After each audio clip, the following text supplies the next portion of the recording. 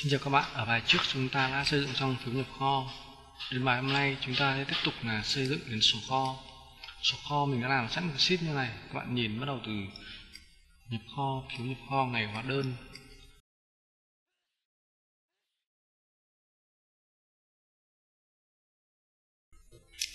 Sổ nhập kho này mình đã xây dựng sẵn như sau. Ngày nhập kho, diễn giải nội dung. Ngày hóa đơn, số hóa đơn, số phiếu. Mình copy ở đây. Copy đây copy cái mục này chuyển sang bên này thôi. Đầu số tự, mã hàng, tên hàng, đơn vị tính, số lượng, đơn giá. Mình sẽ copy ở cột người thang thôi. Sau đó mình đánh số cột bằng cái lệnh, column để cho tôi cột nó. Rồi, bây giờ mình cần xử lý đó là gì? Khi có nút nhập kho ở đây, mình cần nút new. Tất cả những dữ liệu từ ngày nhập kho, diễn giải hóa đơn số phiếu, cộng với thông tin hàng hóa này, nó sẽ phải được lưu ở tại bảng nhập kho là của mình. Để sau này mình sẽ truy xuất lại đây rất nhiều số phiếu đây mình có thể nhìn lại được rất nhiều số phiếu mình đã nhập kho. Và sau này mình sẽ tạo thêm một cái ship nữa, đó là ship in phiếu số kho nhé. Rồi. Để làm được việc đấy, bạn làm như sau. Thứ nhất, bạn mở VBA ra cho mình, an F11 tạo một. Module mới cho mình. Module này là đặt tên là phiếu số kho. Rồi thì trước tiên để làm được dữ liệu từ phiếu nhập kho này sang sổ kho này thì ta cần cái gì? Thứ nhất là xác định được cái giá trị đang ghi tại cột này này là số bao nhiêu dòng cuối cùng ấy, đang ghi ở cột này là số bao nhiêu. Thứ hai nữa ta xác định được này dữ liệu đã được ghi ở trong cái phiếu nhập kho này này là dòng cuối cùng là bao nhiêu. Chúng ta xác định được hai cái điểm dòng cuối cùng.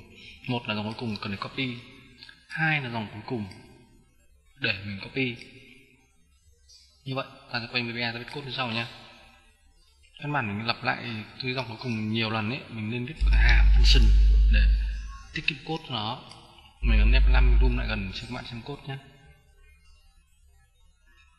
rồi, bắt đầu mình tạo hàm function nhé function gì? Mình ghi là tìm dòng cuối.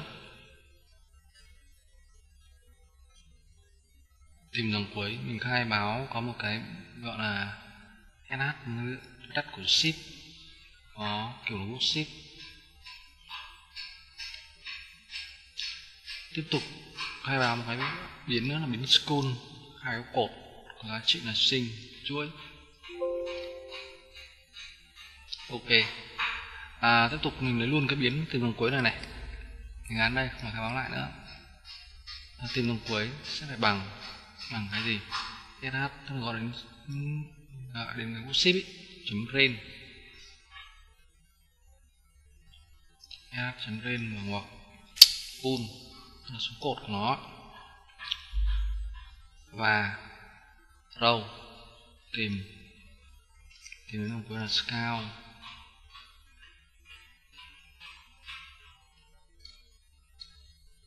tìm cuối là scout rồi đóng ngoặc mà tìm cuối cùng là gì? N x l up những bài học trước mình mà. Đóng ngoặc chấm row Đấy, như vậy mình xong làm tìm phần cuối nhé. Giờ mình khai báo cái sub nữa. Sub này mình gọi là phiếu xuất kho. Phiếu xuất kho này mình gọi là gì nữa nhỉ? Phiếu xuất kho ghi sổ. Rồi, thứ nhất mình khai báo hàm dim một cái biến biến gì? Thứ nhất là dòng cuối dòng cuối của cái, dòng cuối của cái phiếu xuất kho này, mình gọi là gì? Lát râu tắt của lr có kiểu là long. Cái thứ hai, biến thứ hai mình gọi là dim last râu của cái gì? Phiếu xuất kho xuất kho, có kiểu là s ngon. Tức là gì? Tức là cái biến thứ nhất là là r, là tìm dòng cuối của cái bảng số kho. Cái biến thứ hai sẽ là tìm dòng cuối của phiếu xuất kho. Đấy bạn lưu ý mình thế nha. Rồi, xong. Tiếp tục là mình sẽ đi viết tiếp là cái dòng cuối này. Thứ nhất, dòng cuối thứ nhất là lát row nó sẽ bằng bằng cái gì hàm, mình gọi là hàm ở trên này này, là hàm tìm nguồn cuối đúng không? Tìm nguồn cuối tìm nguồn cuối của cái gì?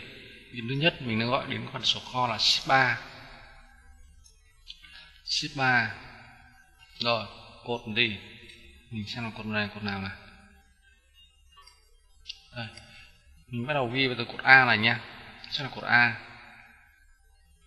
Bắt đầu ghi cột A, mình gọi là bắt đầu từ cột A này. Rồi, tìm đến dòng cuối rồi đúng không? Bây giờ cái vị trí dữ liệu cần phải ghi là cộng thêm một nữa để nó xác định được là cái dòng dòng dòng đi tiếp theo. Dòng cuối cùng cần đi tiếp theo. Cái thứ hai, lát row biến thứ hai phiếu xuất kho. Mình cũng sẽ khai báo bằng tìm dòng cuối.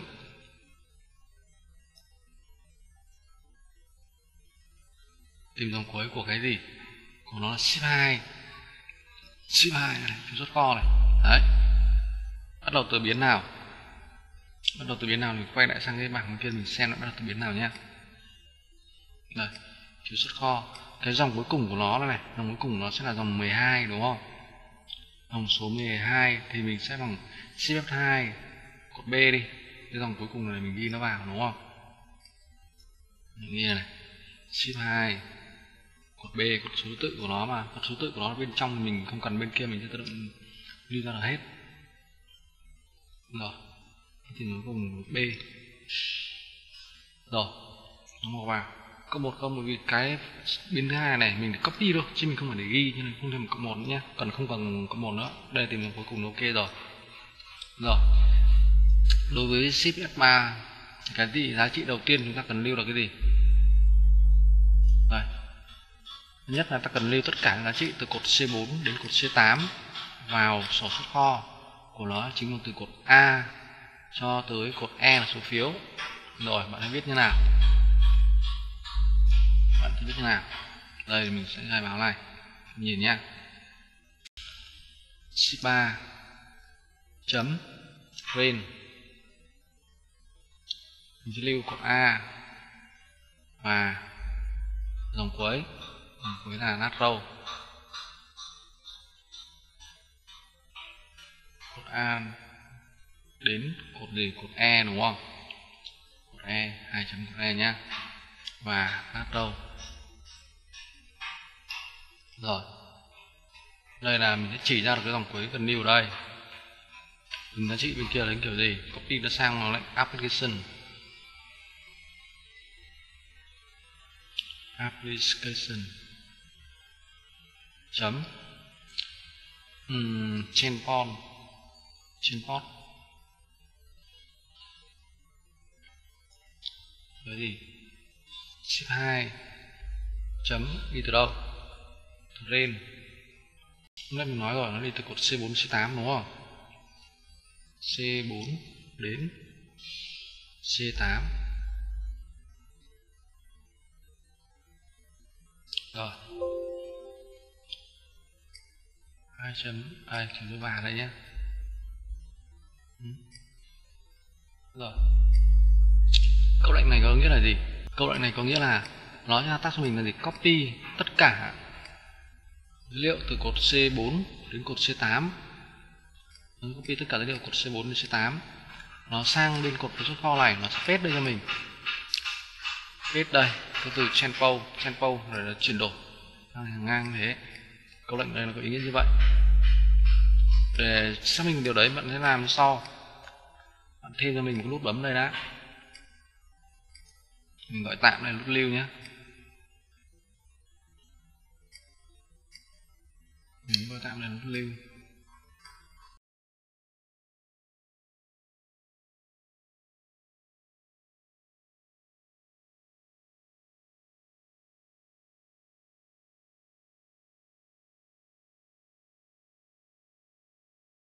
Ok bây giờ mình gắn lệnh cho nó chạy nhá. Gắn vào s macro phiếu xuất kho rồi nhập. Giờ chạy thử lưu. Kiểm tra kết quả. Đấy bạn thấy không? Đó, nó lưu được cho mình đây rồi. Rồi. Tiếp theo nữa mình cần xử lý lưu dữ liệu ở đâu? Lưu dữ liệu ở cái tất cả dữ liệu từ cái cột B này sang cột phiếu xuất kho là của mình để làm điều đấy bạn làm như nào? Bạn vùng gần bạn xem nha. rồi ghi ship 3 chấm ren. Lên từ cột nào? Nó sẽ đi là lưu từ theo cột g, đúng không? Cột g này nó đi theo từ cột này này. Thì cái dữ liệu đấy xong nha mình đi tiếp theo là từ cột g số tự nha như từ cột g g vàng cái gì vào dòng cuối cùng đúng không? Dòng cuối cùng là nát rồi. Và tiếp đến cột thứ bao nhiêu? Đến cột cuối cùng mới là cột n. Đây cột n nhé. Xuống cột n. Nát row nát này ấy, bạn lưu cho mình nhá mình có khai vào biến dòng thứ thứ hai này nát row xuất kho mình phải cộng thêm cộng thêm cái đoạn này này. Cộng thêm cái phiếu này này. Mình cộng thêm cái cuối cùng. Cộng thêm cái cuối cùng này dòng nào để mình copy nó vào. Sau đó mình phải trừ đi số dòng nó một, hai, ba, bốn, năm, sáu, bảy, tám, chín, mười mười một. Đến dòng thứ mười hai bắt đầu lưu, đúng không? Vậy mình trừ đi 12 trừ đi dòng ngược lại ở đây trừ đi khoảng 12 dòng. Sẽ bằng tức là như này. Nó sẽ bằng dòng cuối cùng của cái ship F3 này. Dòng cuối cùng của ship F3 này này, cộng với lại cái dòng cuối cùng ở đây. Trừ đi khoảng thừa trên này, trừ đi khoảng thừa trên này này. Đấy. Sẽ là nát row cộng cộng cái gì? Nát row của phiếu xuất kho. Trừ đi. 12 1 chấm value bằng. Bằng cái đi. Ship. 2 mình gần là đẹp ý quyền này. Ship 2 chấm ren. Bên của nó mình lưu từ cột A12 đúng không? A12 đến bao nhiêu? Cột H à? Thế lại đúng đây bắt đầu lưu từ cột A12 nhá. Đến cột cuối cùng là cột H cột H và gì và râu đúng không? A12 H và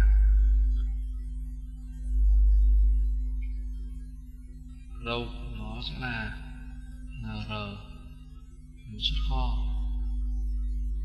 Râu xuất kho à, chấm value uhm, arrow kiểm tra lại cái này nha đây thử đồ vàng trước này.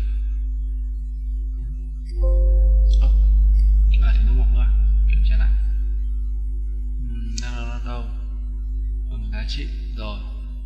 Phiếu xuất kho đây.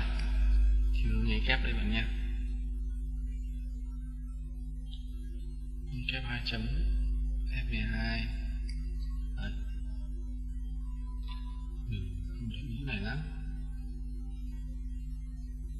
từ dòng 12 12 dòng 12 đến H ngon không? Dòng 12 đến H nó sẽ là cái dòng nát râu cuối cùng của nó bằng giá trị. Ok. Đấy. G đến N, cùng với cộng siêu 2 nó bắt đầu từ A12 đến OH H. Của nó là đâu? Là chỉ số đồng cuối. Mà cái là đồng cuối. Bây giờ mình test thử cho bạn xem nhé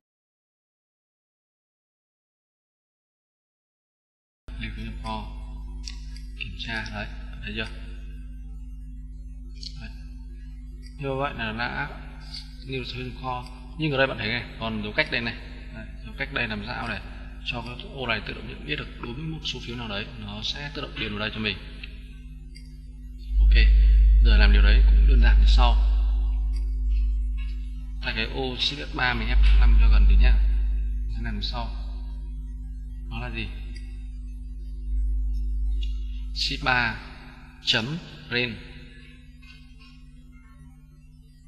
Ren của ô ô nào đây? Mình đang có một ô trung gian mình để ở giữa này. Đây này. Đây là UF gọi phiếu này. Hiện tại chưa có gì cả, đúng không? Gọi phiếu này mình tạm thời gắn cho nó là bằng nhập kho mình tạm thời là nút UF này này. Và dòng cuối là row nó sẽ là bằng gì?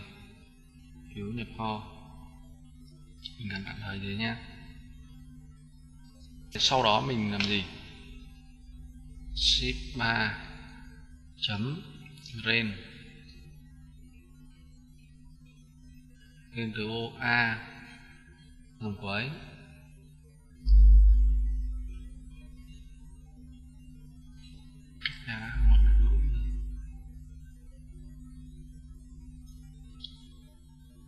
mầm cuối của nó và đến cột F ra đến cột F đúng không? Mình sẽ run A đến cột F sẽ phải bà là gì? Là cộng lại. F ấy, cộng này này. Mình có thể trừ đi 12 nhé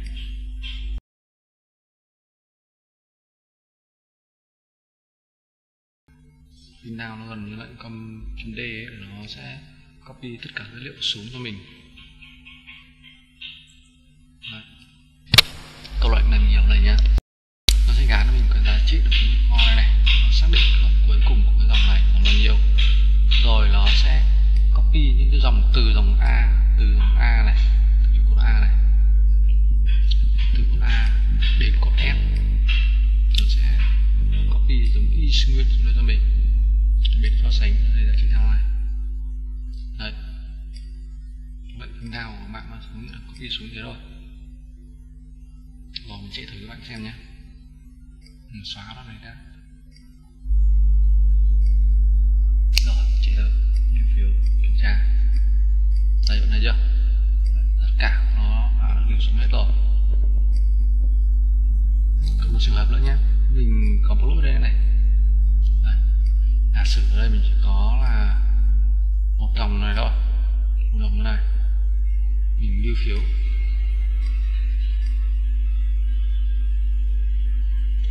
Đây bạn thấy nó không gian chính xác, đúng không?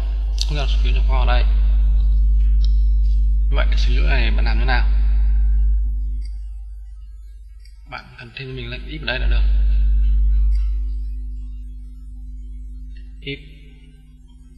Nếu dòng quỹ phiếu kho trừ 12 này. Đấy, phiếu xuất kho phiếu xuất kho.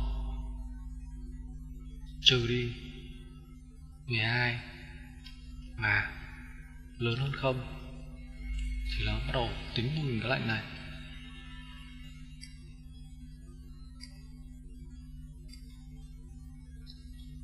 End if mình ghi ra mình các bạn sau này nhá. Cậu lại nghĩ như này này. Tức là cái dòng cuối cùng, mình nghe thử lần nữa cho xem đây bạn nhìn lại cốt này. Đây tức là nha cái dòng cuối cùng của cái phiếu xuất kho này, ship hai ấy, nó trừ đi 12 mà lớn hơn không, thì nó bắt đầu in ra lệnh fin down cho mình. Còn nếu nó là một thì nó không copy cái đoạn dưới này, mà nó giữ nguyên lên cho mình cái đoạn kho kia. Đấy, tại sao lại trừ 12 đây. Bởi vì cái dòng mình bắt đầu ghi từ số 12 này. Đấy. Nhưng mình ghi một dòng thì nó trừ đoạn này đi. Nếu mà nó mà lớn hơn không ấy nếu mà lớn hơn không tức là 12 vì 12 trừ 12 bằng không mà thì nó chỉ là một dòng thôi. Thì một dòng thì nó sẽ không chạy lệnh phiên nào nữa. Thì nó sẽ copy nguyên đoạn phiếu này cho mình. Còn nếu trường hợp nó lớn hơn không tức là nó nhiều hơn một dòng lệnh ở đây thì nó sẽ đọc copy dữ liệu. Ở thì lệnh phiên nào nó sẽ đọc copy lại dữ liệu trên này tấm chạy lên cho mình. Bởi vì đây là có một dòng mà thì nó không hiểu không hiểu lệnh phiên nào nó sẽ chạy lại copy lệnh. Ừ, vì nó là không ấy, nó không hiểu lệnh phiên nào nó chạy nó chạy nó copy đúng nó dòng ở trên này xuống y nguyên cho mình đấy.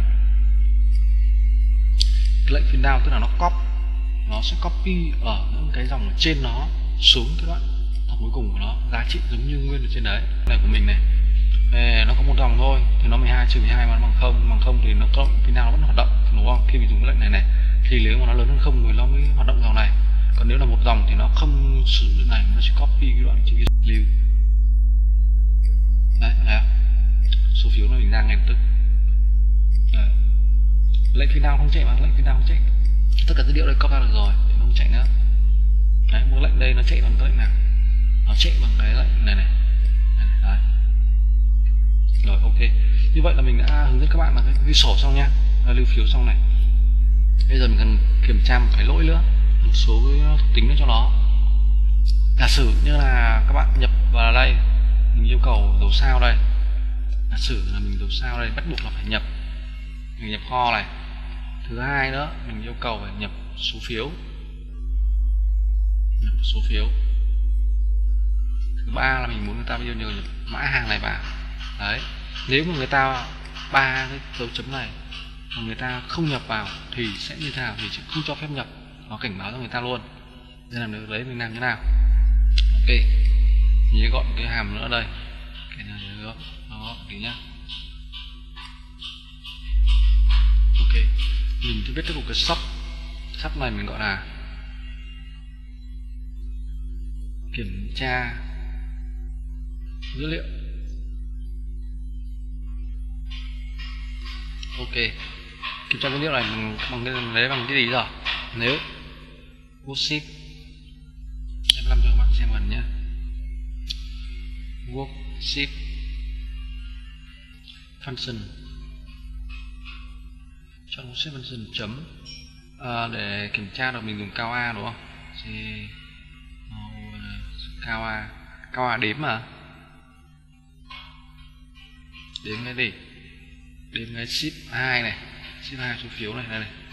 Trừ số phiếu này cao a và cao a nó đến số phiếu này cao a đến ngày này cái ngày này của nó mà à, lớn khác không thì là có nhập dữ liệu còn không nhập gì cả nó sẽ là không.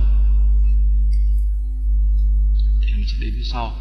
Um, cái ô kia gọi là OC mới nhỉ? OC4 rồi.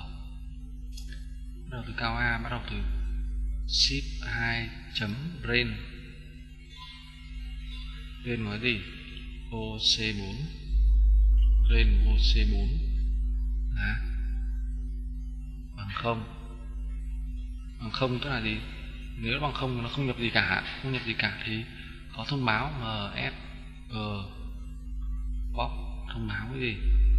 Thông báo là bác ngày của bạn chưa nhập. Ngày bạn chưa nhập ngày đi. Bạn chưa nhập ngày. Kho. Rồi, trường hợp thứ hai mình cần tính ở đây nó là gì? Số phiếu, đúng không? Cái số phiếu này yêu cầu cần phải nhập, nó là ô C8 rồi ô C8 để làm như thế. Tiếp tục nhá, mình sẽ viết câu lệnh đây nó là gì? Mặt khác. Nếu khác đến cái gì? Worksheet worksheet function. Chấm vẫn đến mà dùng cao a cao a của cái gì? Ship. 2 chấm range ô bên mình là tính là OC8 đúng không? OC8 tương tự như vậy thôi. Là bằng không. Thì thông báo. Hf G box bạn chưa nhập số phiếu. Bạn chưa nhập số phiếu. Rồi trường hợp thứ ba là gì? Mã hàng mình chuột b đúng không? À, cột b. Ok mình sẽ biết trường hợp thứ ba là gì? L if nếu nếu cái gì? Vô ship. Function chấm. Cao a. Ship 2 chấm. Rain tên cái gì đây? Từ cột b. Hai chấm đến cột b. Từ cả cột b ấy, nếu nó không nhập cái gì cả. Nhưng các bạn lưu ý nhé cái cột b này của mình này mình có cả ngày nhập kho những giải hóa đơn số phiếu mã hàng và số cột này là một hai ba bốn năm sáu bảy như vậy mình phải trừ đi 7 cái dòng ký tự ấy đúng không? Như vậy là mình phải trừ đi 7 không phải trừ 7 tức là nếu này bằng 7 tức là nó sẽ bằng 0 tức là nếu này này nó bằng 7 bằng số 7 ấy, thì cao nó đến có giá trị nó mà thì là bằng sẽ tức là hàm cao tức là gì? Hàm cao đến vào cột b này này. Ở những trường có chứa có chứa dữ liệu ấy là có 7 ô chứa dữ liệu thì nó sẽ đến bằng 7 để nha mình test lại bạn xem nha chút là mình giải thích nó hơi luồng ngoằng cũng là tí đây nha, bằng, cao a. Đây, cao cột b này này. Nha b đi. Mà hình mới xeo mà, nó bị thế, b, bấm vào vào đấy. Cao A, tại sao bằng 8 vì cột này mưa xeo một cái nhập kho này. Phải không? Cột số 3 này, mình xóa số 3 đi đấy thấy không? Nó sẽ bằng 7 tức là dữ liệu trống như này thì nó sẽ bằng 7 còn nếu mà có dữ liệu thì nó sẽ là nhịp số 8 do đó ở bên này ấy, thì mình cần tính cái chỗ này thôi là bằng 7 thì nếu nó bằng 7 ấy, thì nó sẽ báo là gì? Ms gbox là bạn chưa nhập bạn cần nhập ít nhất một mã hàng. Bạn cần nhập ít nhất một mã hàng. Rồi. Một khác còn lại. Eo còn lại khi bạn đã nhập thông tin đến xong rồi, nó sẽ phải chạy đến cho mình hàm ghi sổ đây này, hàm chút kho này, ghi sổ này, đây. Thì mình chỉ cần gọi đến nó, gọi đến function là scone ok ghi sổ. Xong. Rồi mình test thử nha. Mình không nhập dữ liệu đây mình xóa dữ liệu ở đây. Rồi. Lưu phiếu. À, mình gán lại đã. Mình gán lại. Mặc dù nó là kiểm tra dữ liệu. Rồi. Mình kích lưu phiếu. À lại mình thiếu nif nha. And if rồi rồi, ok. Bắt đầu mình chạy nha lưu phiếu này. Bạn chưa nhập nghề nhập kho, ok. Giả sử như là ngày 30 tháng 4 năm 2020 rồi, lưu phiếu. Bạn chưa nhỉ? Số phiếu. Đấy, số phiếu mình chưa nhập. Ok. Như vậy mình ghi số phiếu nó là gì? Phiếu nhập kho 001 lưu thử. Bạn cần ít nhất một mã hàng. Đấy ít nhất a. Rồi đấy số 8 rồi này đấy, xóa lại này nha. Lưu phiếu. Đấy 34 này. Đấy. mình kho. Đây ngày này mình phải định dạng ngày nhưng mình chưa định dạng ngày nó bao thế mà. Rồi. Như vậy là mình đã Đấy, như vậy mình đã hướng dẫn các bạn là xong cái phiếu nhập kho này thì các bài sau mình sẽ hướng dẫn các bạn một số lỗi nữa. Dường như là lưu phiếu nó báo thành công thì bài này tương đối dài rồi. Dường như lưu phiếu thành công này, hoặc là cảnh báo phiếu trùng, số phiếu mình các thứ lỗi, phiếu là cho hoàn thiện thêm. Bài này tạm dừng tại đây đã nhé cảm ơn các bạn theo dõi.